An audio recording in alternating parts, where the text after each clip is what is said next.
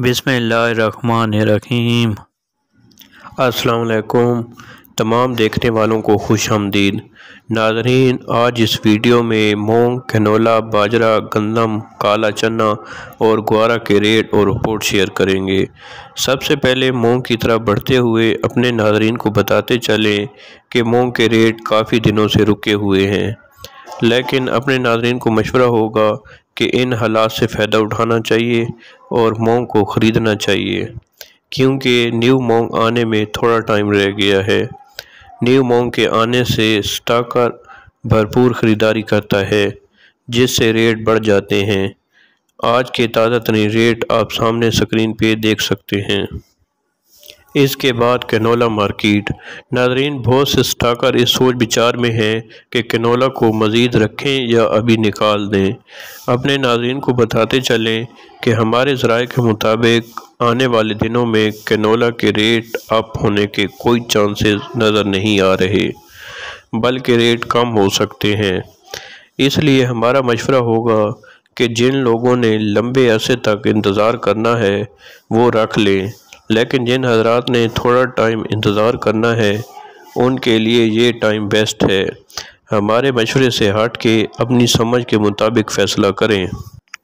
इसके बाद बाजरा मार्केट की तरफ़ बढ़ते हुए अपने नाजरन को बताते चलें कि पिछले दो दिनों में बाजरे के रेट में कमी देखने को आई। बाजरे का रेट मज़ीद देखने की बजाय सेल करके नई अजनास में जाना अच्छा फ़ैसला होगा, क्योंकि बाजरा के रेट काफ़ी अरसे से रुके हुए हैं। गला मंडी पिपला में बाजरे का आज का रेट तीन हज़ार चार सौ पचास फ़ी मन तक नोट किया गया। इसके बाद गंदम मार्केट। नाजरीन, जिस तरह तो थी कि रेट कम देखने को आएँगे, लेकिन ऐसा नहीं हुआ, क्योंकि हुकूमत की बातें मज़ाक बन चुकी हैं। गंदम के बारे में जो भी बयान आए, सब के सब झूठ निकले। इसलिए गंदम के मुतालिक जो भी फैसला करें, वो अपनी समझ और मंडियों के हालात को देखते हुए करें। हमारी राय के मुताबिक गंदम में कोई मंदा नज़र नहीं आ रहा और आने वाले दिनों में मज़ीद रेट बढ़ सकते हैं। चना मार्केट की तरफ़ बढ़ते हुए चना में आज मज़ीद तेज़ी देखने को आई। दालों का बिकरा देखते हुए जहाँ भी थोड़ा सा वक्फा मिलेगा, मार्केट ऊपर उठेगी। 18 जुलाई को पोर्ट पे लगने वाला जहाज़ मार्केट पे प्रेशर ज़रूर बनाएगा, लेकिन चन्ना में मज़ीद कोई मंदा नज़र नहीं आ रहा। मौजूदा हालात को देखते हुए किसी भी टाइम मार्केट शूट कर सकती है।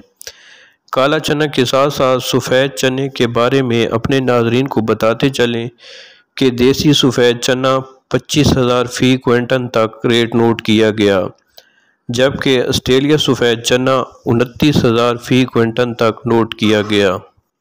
इसके बाद अगर ग्वारा मार्केट को डिस्कस करें तो गुआरा मार्केट अठारह हज़ार से अठारह हज़ार पाँच सौ के दरमियान घूमती हुई नज़र आ रही है।